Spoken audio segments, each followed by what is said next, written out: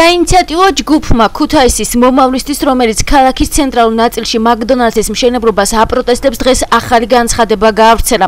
ისინი ამჯერად ყოფილ პრემიერ-მინისტრ ბიძინა ივანიშვილს მიმართავენ და აღნიშნულ ტერიტორიაზე ეთნოგრაფიული მუზეუმის ახალი შენობის აშენებას ითხოვენ. საინიციატივო ჯგუფი აცხადებს, რომ ბიძინა ივანიშვილი აღნიშნული პროექტის განხორციელებას 2007-2008 წლებში აპირებდა. ისინი ამბობენ, რომ ისტორიულ ეთნოგრაფიულ მუზეუმში ფართი სიმცირის გამო ექსპონატების სრულყოფილად გამოფენა ვერ ხერხდება, ხოლო ახალი შენობის აშენებით პრობლემა მოიხსნება. საინიციატივო ჯგუფი ასევე ითხოვს, რომ კომპანიას, რომელიც მაკდონალდს აშენებს, ალტერნატიული ფართი შესთავაზო.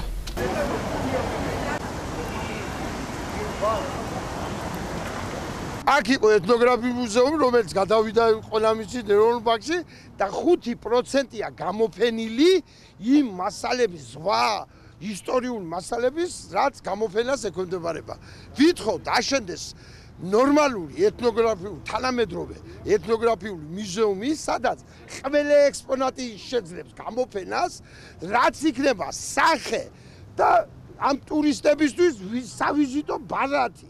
ბატონი ბიძინა ივანიშვილი აპირებდა და აფინანსებდა პროექტს, რომელიც ითვალისწინებდა აი ამ ადგილას ქუთაისის ისტორიული ეთნოგრაფიული მუზეუმის აშენებას. პროექტი შეთანხმებული იყო კულტურის კულტურისა და ძეგლთა დაცვის სამინისტროსთან, მაგრამ ის შეფერხდა იმის გამო, რომ ძველი ხელისუფლება ითხოვდა ფულს, ხოლო ბიზინა ივანიშვილს სურდა პროექტი თვითონ განეხორციელებინა. ჩვენ მივმართავთ ბატონ ბიზინა ივანიშვილს. ბატონო ბიზინა, უკვე დადგა დრო, რომ თქვენს პროექტს ხორცი შეესხას.